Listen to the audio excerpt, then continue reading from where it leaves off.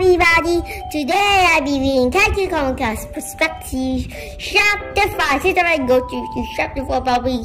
But before we begin this video, make sure to subscribe to this video and hit the notification bell too. But let's begin with today's storybook video.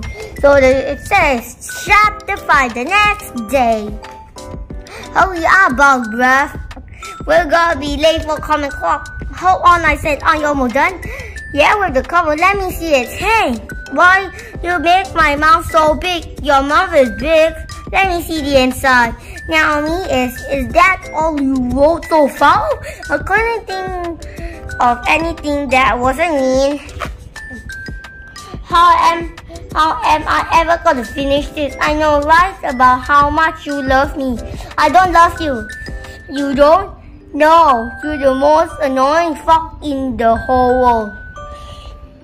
So if some big monster come out from of those woods and want to beat me up, you would try to protect me. Of course I would. Nobody mess with, with my sisters.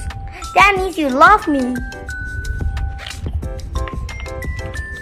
Hey, wait up, this thing is due tomorrow, huh? Am I supposed to finish it Disney? It should be easy for you since I love me so much. That's the end for today, everybody. Bye, bye, bye.